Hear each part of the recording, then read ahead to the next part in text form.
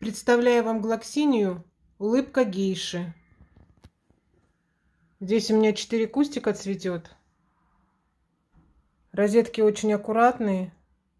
Букетное цветение.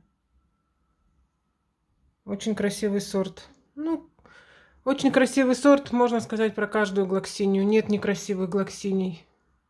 Что простые, что махровые. Очень веселая, яркая глоксиния. Но стояла на разных полках, поэтому...